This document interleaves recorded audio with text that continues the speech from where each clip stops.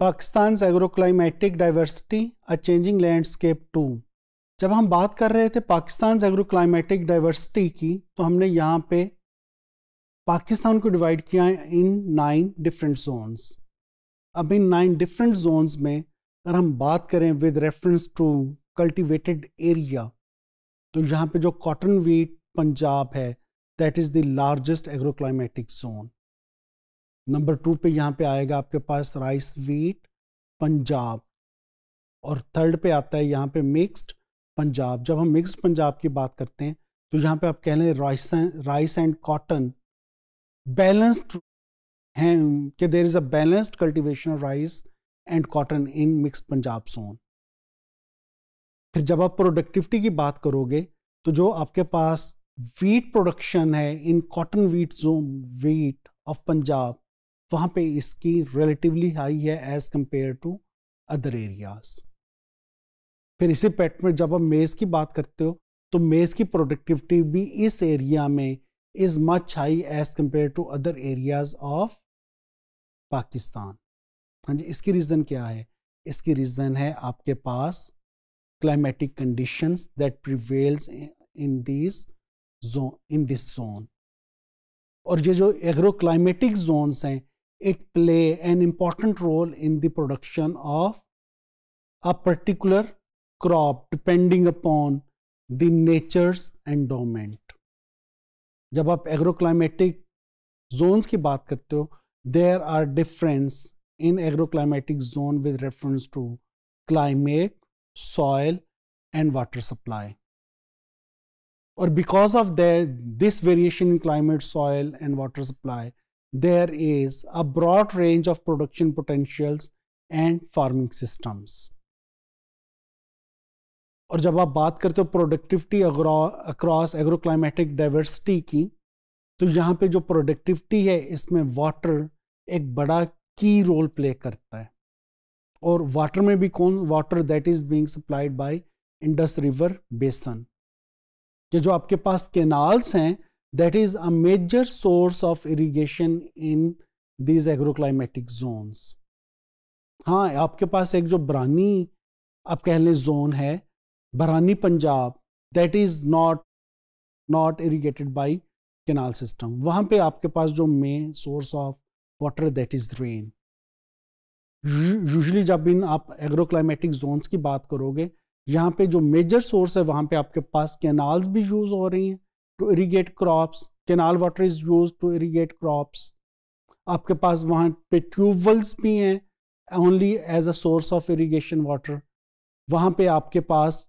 a combination of canal and tubewell water is use to produce agricultural output और बिल्कुल extreme पे क्या है? कि rain is only source of water to produce agricultural crop लेकिन जब आप केनाल वाटर की बात करते हो कि जैसे मैंने अभी बात की कि productivity across agroclimatic zone is strongly linked with the supply by Indus water basin लेकिन जो इंडस वाटर बेसन है, इसमें जो there are number of inefficiencies that are associated with the water that is being supplied by Indus river उसमें आपके पास इन inefficiencies हैं associated with conveyance losses के जब ये पानी आपके पास ट्रांसफ़र होता है through canals,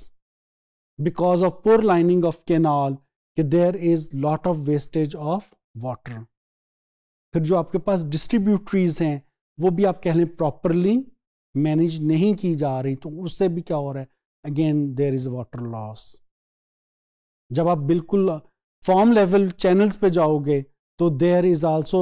water loss because of poor linings फिर इसी पैटर्न पे जब हम बात कर रहे हैं कि इन efficient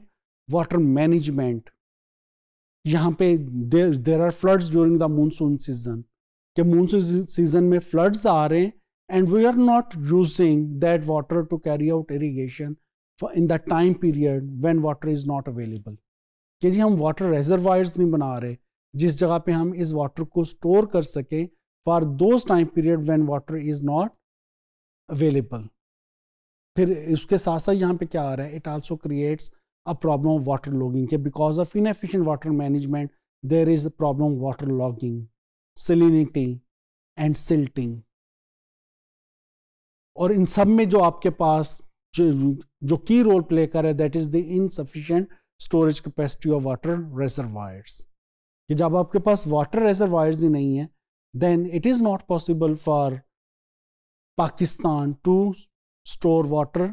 to carry out irrigation of agricultural land जब आपके पास स्टोरेज वाटर रिजर्वेयर्स ही नहीं है we are not in a position to use that water to produce electricity फिर जब आप इनएफिशिएंट वाटर मैनेजमेंट की बात करते हो तो यहाँ पे जो आपका कैनाल सिस्टम है its ability during floods and droughts आप कह लें कि वो इतने, ना तो वो फ्लड्स को आप कह लें in time at the time of the floods कि जी आपके जो कनाल सिस्टम की एबिलिटी है, हम उसको एक्सपेंड नहीं कर सकते। जब आप केनाल सिस्टम की बात करते हो तो हमारे जो केनाल सिस्टम है, इसकी ability to irrigate during floods and droughts आप कह लें, आप उसे कंट्रोल नहीं कर सकते। कि फ्लड्स के टाइम पीरियड में क्या होना चाहिए? कि we should use less canal water to carry out irrigation और ड्राउट्स में क्या होना चाहिए? We should we should supply more water in canal system लेकिन जो आपकी केनाल सिस्टम की कैपेसिटी है, वो आपको ये वेरिएशन अलाउ ही नहीं करती कि ना तो ड्राउट के टाइम पीरियड में आप कोई वाटर की availability through canal system increase कर सकते हो और फ्लड्स के टाइम पीरियड में भी you are not in a position to control the supply of water through canals